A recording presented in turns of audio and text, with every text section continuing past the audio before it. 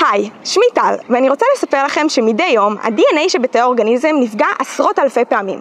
כדי להתגבר על הבעיה הזו ולשמור על שלמות הגנום, במהלך האבולוציה נוצרו מערכות ביולוגיות שונות. אחת מהן זו מערכת ה-TLS, שלשם גיוסה נדרשת מודיפיקציה מיוחדת. מהי מודיפיקציה אתם ודאי שואלים? או, זו שאלה מצוינת. מודיפיקציה היא למעשה התווספות של חלבון מסוים לחלבון אחר במטרה לשנות את ייעודו של חלבון המטרה. ככה מעין וסת כלשהו. ואיך זה קשור למחקר שלי? כדי לגייס את מערכת ה-TLS נדרשת מודיפיקציה של חלבון היוביקוויטין המתווספת לחלבון הטבעתי שמחליק לנו על DNA.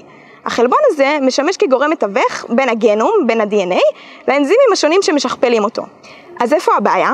בתאי גזע עובריים לא נצפתה המודיפיקציה הזאת, אבל עדיין המנגנון פועל במינון גבוה. בגלל זה, בחנו את המודיפיקציות האפשריות שעובר החלבון הטבעתי בתאי גזע עובריים לעומת תאים ממוינים. באמת גילינו שבתאי גזע עובריים ישנה מודיפיקציה אחרת, מודיפיקציה של חלבון בשם SUMO. מערכת ה-TLS מאפשרת לתא להמשיך לשכפל את ה-DNA שלו כנגד פגמים מרחביים, אבל היכולת הזאת באה על חשבון הכנסת נוקלאוטיד לא נכון, כלומר זו מערכת מוטגנית. חשוב להמשיך לחקור את אופן פעילות המערכת המוטגנית הזאת, בפרט בתאי גזע עובריים, שטומנים בחובם אפשרויות טיפוליות רבות, לאור העובדה שהם בעלי היכולת להתמיין לכל סוג תא.